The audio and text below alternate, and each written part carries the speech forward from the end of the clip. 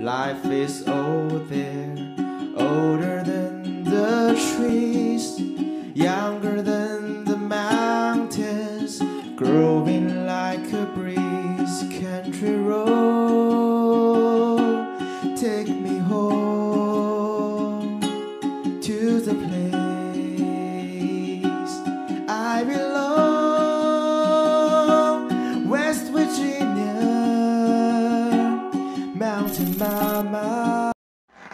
Howdy, welcome back to Pack Adventures. Today's video is moving vlog three or four, and I have big news for this video. As most of you probably already know, we were supposed to go look at a house on Monday, which we didn't go to. There's been no video, and I'm here to tell you we just never went. And there'll also be no more houses that I'll be showing you guys to look at.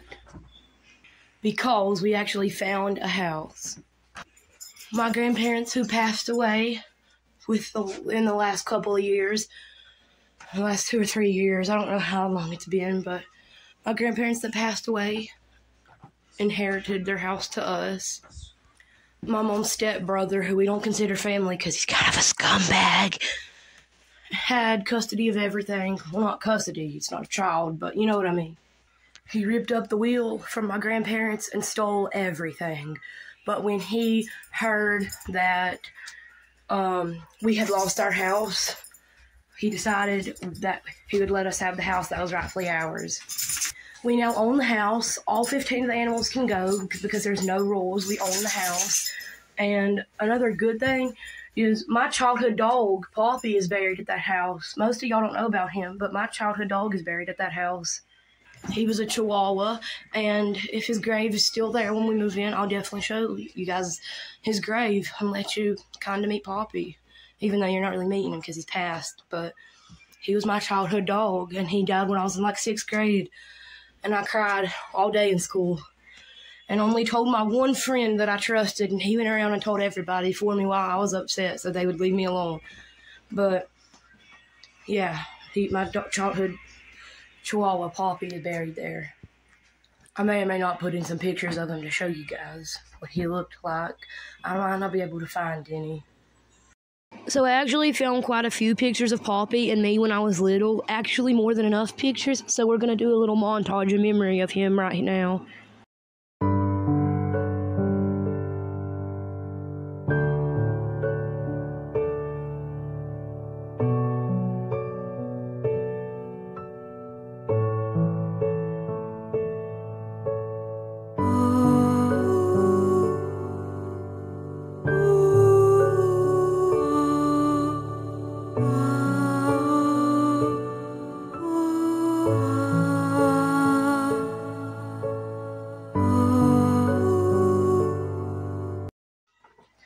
But if we move there where he's buried, I kind of want to make a cross for his grave and, you know, a stuffed animal that looks like him, and a bunch of flowers, stuff like that, pictures of him, stuff like that.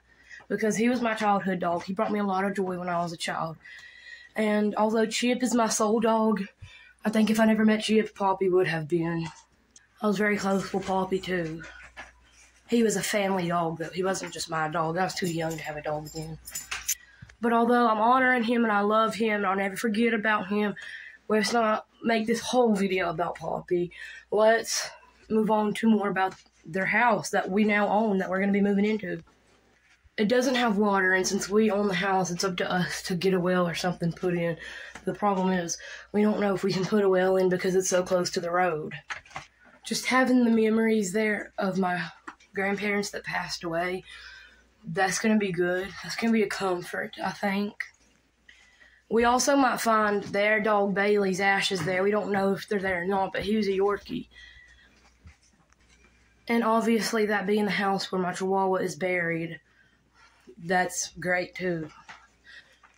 The reason he was buried at that house is because it was supposed to be inherited to us the whole time when we, like, if something ever happened to my grandparents and they were still alive when Poppy was buried there. So it's kind of destiny for us to move in. So I think we're going to do everything to make sure we get to. And I have a quick update on Diesel for y'all, real quick, before we continue talking about the house. You're probably surprised to see him in the house. You know, he stays outside in the fence with other dogs. He actually got hurt.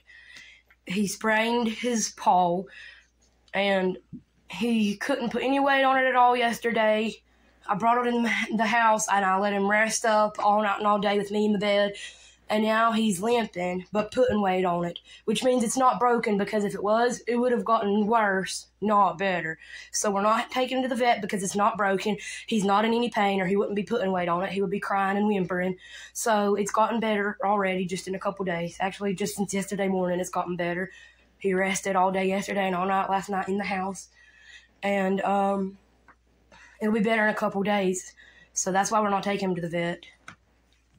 Sometimes if that happens and you got some ointments or something like that or something to wrap it up with, you can just if it's a cut, which he doesn't have no external injuries, it's only internal, it's a sprain.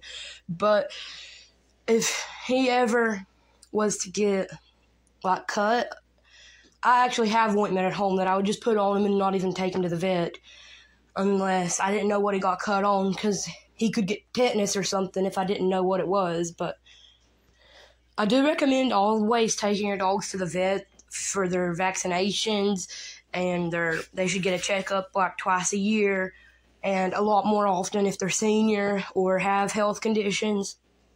But if they're limping a little bit or not putting weight on one of their legs, I wouldn't take them to the vet right away because I'd bring them in the house, let them rest, and if it doesn't get any better, then I would take them into the vet in a couple days if it doesn't get any better. If it gets worse, I would definitely take them in.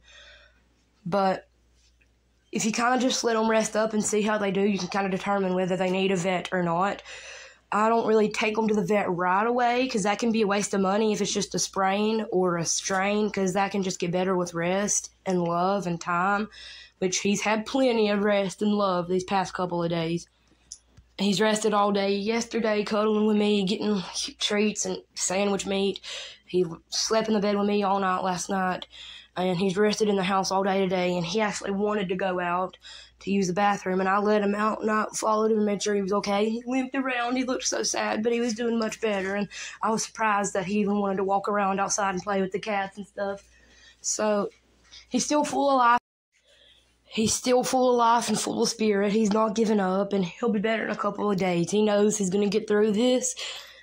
A dog will know if they're going to die. They'll find a quiet place to rest, and they'll kind of go to sleep and just kind of drift away and die.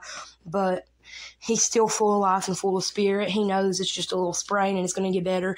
He knows why I've been letting him in the house, I think. I think he knows why I've been giving him so much love and rest. I honestly think he knows that. I honestly think he knows why I've been treating him like this. Because dogs are a lot smarter than people give them credit for. Any dog can learn any trick imaginable with just a little bit of time and patience and dedication from the trainer. Because it's in dogs' instincts to want to please their owners. They're domestic animals that were bred to help people. If you teach them to do something, they'll do it no problem. If it's a harder to train trick, you just need more dedication and time to train them because they get confused sometimes. So dogs are actually a lot smarter than people give them credit for, and I think he truly believes why I've been giving him so much attention and letting him rest in the bed. I think he truly knows why I've been doing that lately. And he'll definitely be better before the big move, which is good. I don't want him, you know, doing stress, going through too much stress with that hurt leg. Paul, I mean. But anyways, that was it for Diesel. He's getting better. He'll be better in a couple days, so there's no need to take him to the vet. He's not in any pain. Um, so moving on to the house. It is our house. We do own the house now. We could rent it out and be landlords if we chose to do that, but we're not doing that because we need a place to live right now. So we have to find a way to get water, working water in the house the neighbor actually gave my grandparents their water rights, and when they passed away, the neighbor disconnected their water from their house because their house didn't have enough water. And now they're not wanting to do that for us because, like I said, their house didn't have enough water. And there might not, we might not be able to do a well because of it being so close to the road. which is what the people said. I don't know why that would affect it. That's just what the people said. But we may have to get like a water tower or something. But I'm not sure what we're going to do about the water. But I'll tell you guys that as we go.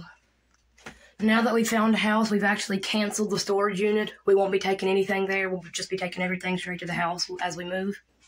Because we hadn't actually taken anything there yet. If we did, you would have seen videos of it.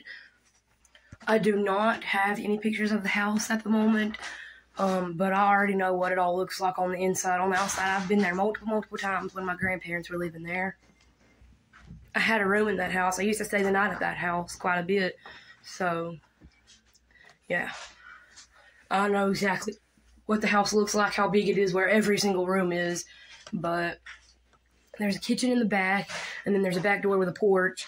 And then out on the porch is the backyard where the building is. But I think my mom's stepbrother's taking the building. And then over on the other side is where Poppy's buried. And then you go back in, there's the kitchen, which I already told you. But then out of the kitchen is the living room. The front door's in the living room. On the side of the living room, there's a bedroom right here. On the other side of the living room, there's a bathroom and my bedroom that I used to sleep in when I stayed there when my grandparents were still living. And then the room beside that was their computer room. We're going to use it as a bedroom because that makes three bedrooms, which is the perfect amount of bedrooms for us one for my parents, one for my brother, and one for me.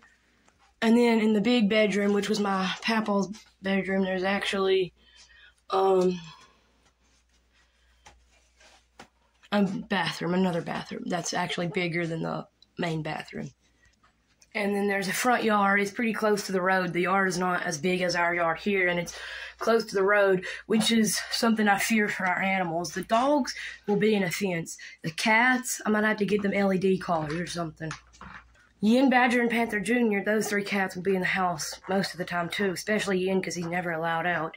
And Badger, Panther, and Jr. sleep with me because our dogs play too rough with them, and I can't leave them outside unattended with the dogs for too long.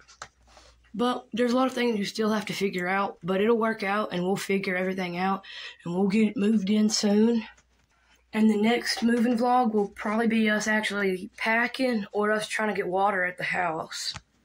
Or just us going to show you what the house actually looks like. Because I already know what it looks like. But we're probably going to go look at it when we're trying to figure out some stuff. So I'll probably show you what the house looks like before we move in. But I don't know what the next moving vlog will be. It'll be one of those things that I just mentioned. We're kind of just figuring out as we go. Um, so, um, y'all don't know what to expect because, well, we really don't either. So, just stay tuned for the next moving vlog. And I guess that was it for today's video. Thank you guys so much for watching Pack Adventures Redneck Pet Channel. Don't forget to like and comment. And if you're a redneck and you like old Cast, don't forget to subscribe to Pack Adventures Redneck Pet Channel. I'll see you guys in the next video.